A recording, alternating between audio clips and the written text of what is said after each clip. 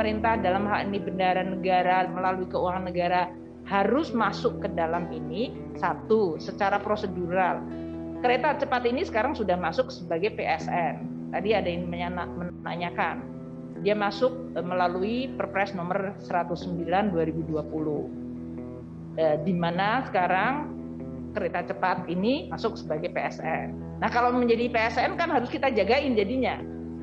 Di situlah muncul tadi berbagai hal. Jadi poin saya, Bapak dan Ibu sekalian, saya paham Bapak dan Ibu sekalian menanyakan mengenai governance dari proyek ini. Saya punya posisi yang sama dengan Bapak dan Ibu sekalian dan oleh karena itu, kami akan sebelum kita step in, make sure kita melakukan audit.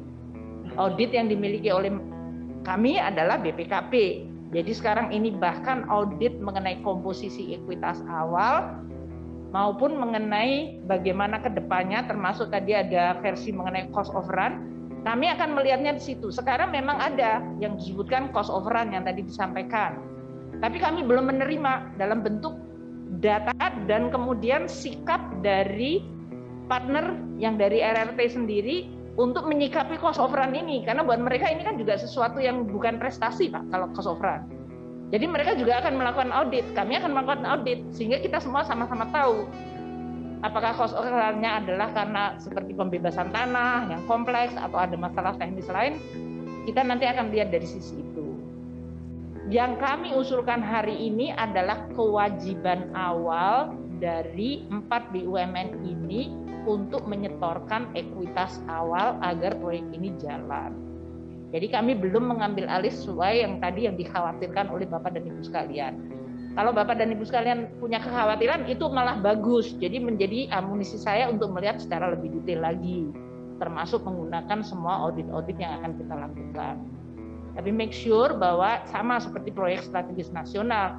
Kadang-kadang satu proyek itu kita jalankan mungkin baru punya nilai ekonomi yang bagus itu 20 tahun kemudian. Sama seperti jalan tol Jagorawi waktu Pak Harto dulu membuatkan dianggapnya belum visible tapi sekarang sudah menjadi overcrowded.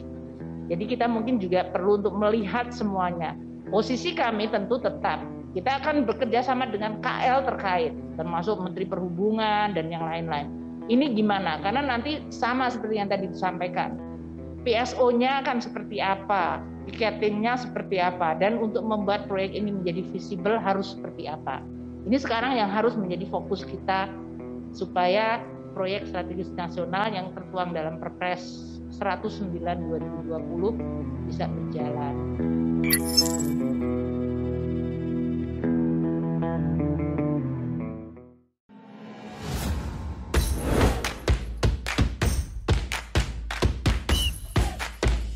Ayam kalau diaduk-aduk jadi cair.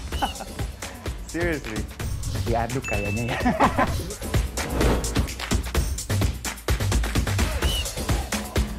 oh, perlu luar negeri gimana ya? Ini demi kemajuan bangsa Indonesia.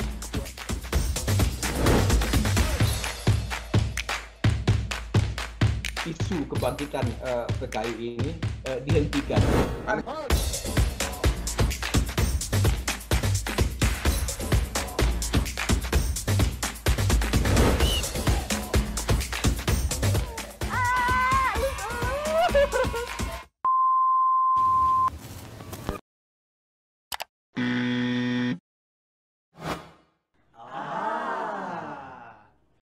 Medcom.id, a part of Media Group News.